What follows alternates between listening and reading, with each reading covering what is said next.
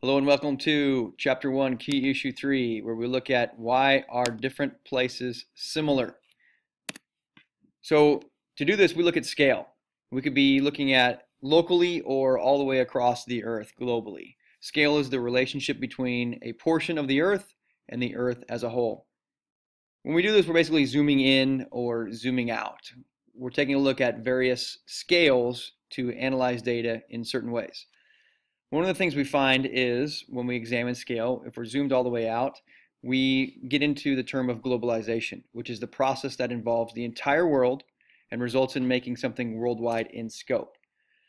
When we examine scale, even if we zoom into a local, local scale, a lot of the times we're seeing aspects that are similar to different places across the globe. And this is where we really start to see globalization. For example, you look down here and we're seeing McDonald's, which is a um, development from the United States, but now we're seeing it in China and Dubai. We see it all across the globe. This is globalization. Globalization occurs in the economy where you've got finance and business intertwined because people are doing transactions across the globe. Maybe they're physically uh, have a business in the United States, but they're still selling things in Europe or it's being created in Asia. They're putting parts together in South Africa you know, it's, it's a global economy these days. Those corporations are not just based in the United States, but they, are, they now have their operations transnationally, meaning in multiple countries. What this actually is is a division of labor. At one time, a company in the United States would exist solely in our country. They would manufacture all of their parts and put the object together, maybe if it was a car. But nowadays, labor is divided through multiple countries. And then when we look at the global economy, we had the housing bubble of 2008. This is really a key moment because what we had is housing prices that were very high. They were inflated, meaning they were higher than what their true value was. And the banks were lending out money to uh, people that really couldn't afford to pay their loans. And things started to go bad. People started to, to default on their loans. And it didn't just affect people in the United States, it affected people globally because money is so tied together these days. This is where we start to see that we're not just individuals in the United States. We are tied to the larger larger global community. So that was economy, but also we've got the globalization of culture, where we see increasingly uniform landscapes. Uniform meaning everything looks the same.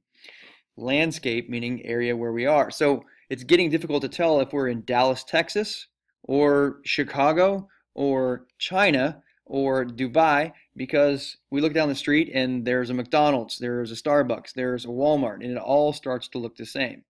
And really, the only thing that might be different, so where we can get an idea of where we are, is the physical landscape, like mountains or rivers. So, globalization of culture is becoming more and more prevalent or more common.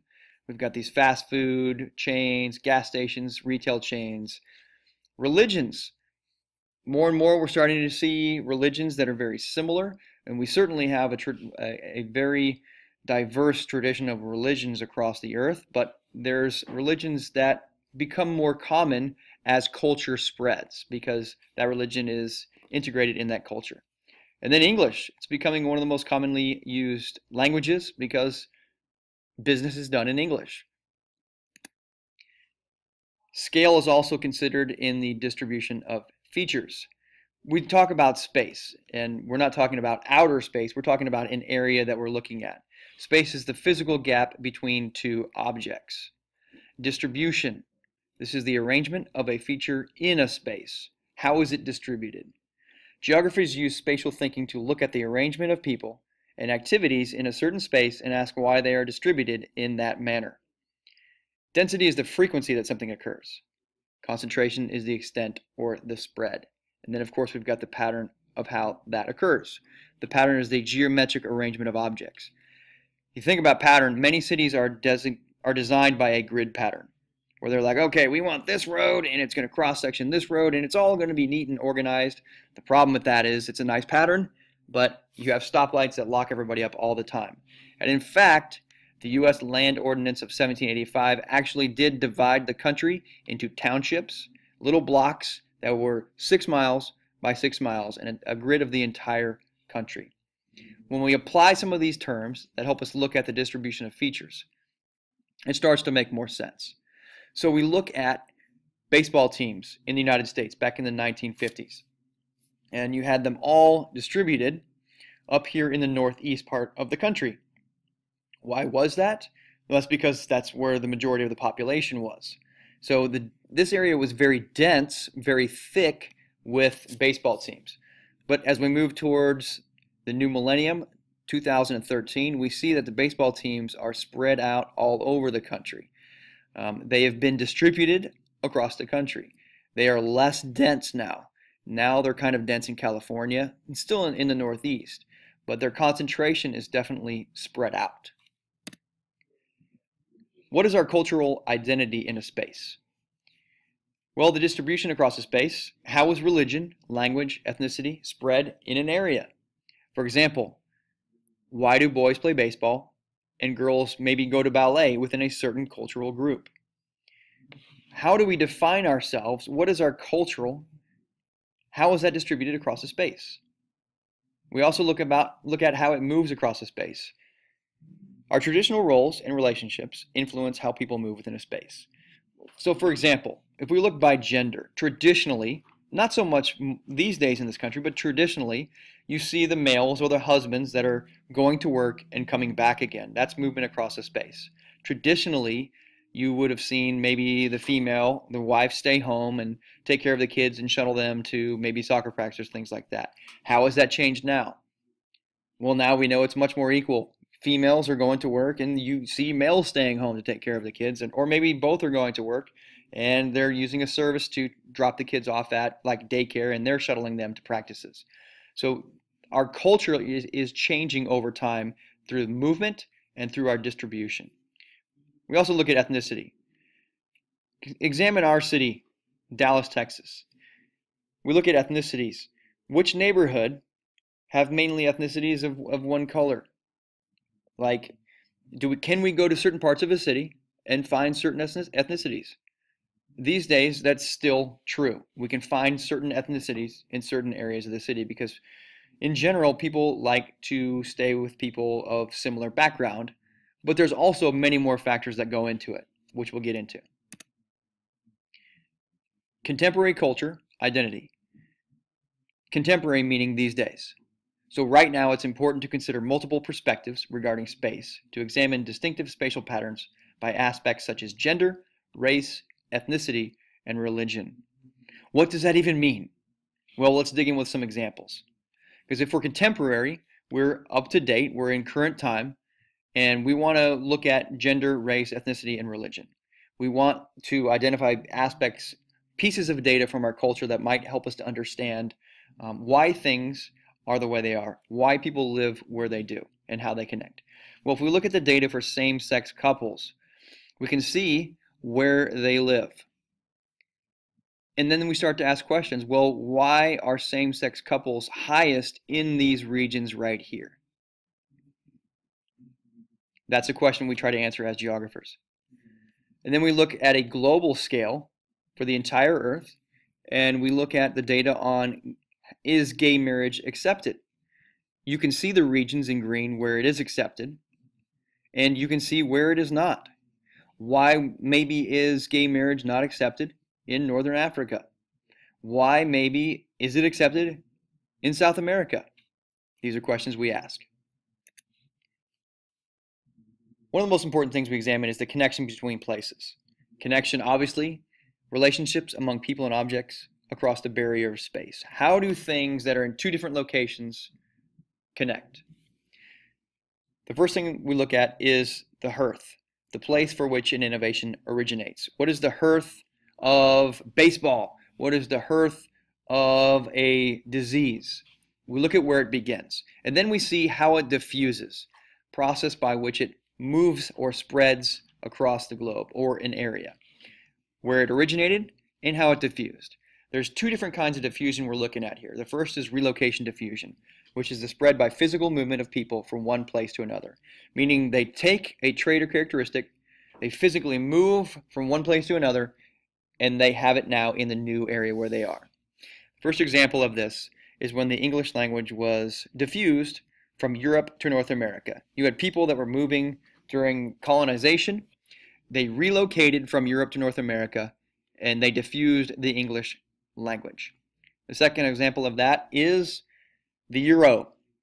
The coins that they used in Europe, they originated from individual countries that minted their own coins. So for example, if you had a French euro, you'd have something um, that was representative of France on that coin, and it would diffuse because people would take their coin and they would travel, they would move to a new country within um, Europe. So they started to see that these coins would relocate because people were taking them there. The other kind of diffusion is called expansion diffusion, which is the spread in an additive process, meaning as it moves, more people access that expansion. It expands like ex exponentially. It gets a lot bigger. Whereas relocation doesn't necessarily get bigger. It's just people moving. There's three forms of expansion diffusion. First, there's hierarchical diffusion, which is a spread at certain levels. You think of it as a certain hierarchy. Like the easiest way is to think, okay, there's a hierarchy, hierarchy like kings, they're in charge. So if they're going to spread information, it's going to go um, in a certain pattern. Examples we look at is soccer, because it spread through certain soccer clubs that had the time to um, do this recreational sport. And we'll talk more about this later too. And the other is rap music, because it started in urban areas and it spread from urban area to urban area to urban area because it was a certain demographic of people that were listening to this rap music. It was a certain level of people. The next is contagious diffusion. It's rapid, widespread throughout an entire population. Contagious diffusion takes on everybody because it doesn't care what your hierarchy is. It doesn't care if you're a king or if you're like a poor farm worker. If you get sick, if you get the flu, it doesn't matter what your hierarchy is. Like everybody is in trouble. Everybody can get it. So it, flu is an example of contagious diffusion. Examples on ideas on the internet. This is contagious diffusion because whoever has the internet, they've got access to it. It spreads rapidly. Everybody can see it. Everybody can have access. The third is stimulus diffusion, which is the spread of an underlying principle. Meaning, you have an original idea, and part of that spreads, even though it could be a totally different medium. Examples would be like features of the iPhone. You know, whenever iPhone and Apple comes out with a new idea, they'll let's say it's like being able to touch your screen which back in the day you know we just had to press buttons on our phone so when the iphone came out with being able to use your finger to touch any feature on your screen that was huge so it wasn't necessarily the iphone that spread across the globe although it did but what stimulus diffusion was about it is that um, other companies, other brands of phones being able started to use people touching the screen of their phone with their finger. So that idea spread through stimulus diffusion. Same thing with the Big Mac. You know, the Big Mac, it's a big American meaty, cheesy hamburger. Well, McDonald's spread into India, but the Big Mac did not spread to India. The original idea didn't spread to India. Why? Because they don't eat meat in India for the most part. Okay? They've got like the veggie burger there in India. So the original idea, the Big Mac didn't spread, but through stimulus diffusion, McDonald's did spread to India. Relocation diffusion. So you look at the euro coins. So this is the number of people, the number of purses carrying euro coins in February 2002. Not very many, okay? But as we move across the years, we see that because people are moving, people are, are visiting, and they're transplanting their coins, we can see that there's so many euro coins now in Paris, in France. This is occurring because of relocation diffusion. Hierarchical diffusion. We look at the hierarchy of the Ford Motor Company. Let's say the executive chairman here, he's the man in charge, he has a memo that he needs to get out. How does it spread to his company? By certain levels, by hierarchy. He passes his memo on saying, we're going to sell only red cars now. So he passes that message on to the president and CEO. It goes by hierarchy or levels, and then it spreads out to people below him. Then it spreads out to hundreds of people below them, and then thousands of people below them. It moves by hierarchy. Contagious diffusion. It doesn't matter. You're going to get it. This is text, me text messaging. You see how text messaging, text messaging spread through contagious diffusion. You can see how everybody in Texas is text messaging. When it originated here in Oklahoma, everybody starts getting it. All right. Also, what's fun is to think about it is like a scary contagious virus. Like, okay, the virus it initiated here in Texas, and then it spread contagiously all throughout the region. Everyone's in trouble of getting it. This is text messaging through a one-month sample in each of these states. We also look at the spatial interaction, how things are able to connect and work with each other in spite of the space between them one of the things that we see is distance decay, where we've got contact diminishing with increasing distance. So if I'm hanging out with my buddy Jordan and we live next to each other, it's easy for us to communicate. We just walk next door and we talk. But if he moves to Egypt, that distance decay, because he's a long way from me, perhaps, and this is sad, we don't really communicate as much anymore because he's in Egypt and that's a long way for me to get. So our spatial interaction is the block, the blockade that keeps us from interacting. But the thing we see happening now because of technology is space-time compression or the reduction in time for something to reach another place. And this can happen in a number of different ways. Now we've got our phones. Now we've got Skype. Now we've got FaceTime where I can just call Jordan in Egypt and talk to him on the phone. He's, it's like he's almost right there. Or I can get on a plane and be there in a number of hours instead of maybe days or weeks or a month. This network, this chain of communication is what connects people and places. But we still, on our Earth, have uneven development. We've got an increasing gap in economic conditions between regions.